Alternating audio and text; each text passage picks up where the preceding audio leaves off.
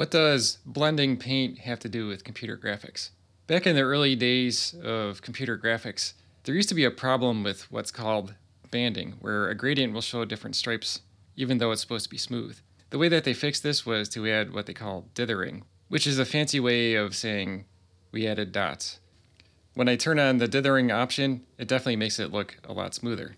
So if you look at the gradient, you can see that the color from one stripe extends into the color next to it by adding small little dots. And that's very similar to my blending technique where I paint stripes of color and then I use circular motions to drag one color into another. I can smooth out any swirls by moving the brush in a straight line back and forth. I like to call this band blending because you paint in bands of color and then soften the edges between them. It seems to give me more control over where each color in a gradient ends up in the painting. It doesn't have to be stripes, it could be irregular shapes and you just soften the edges between them. What's funny about this is what used to be a problem in graphic arts actually became a solution in my painting.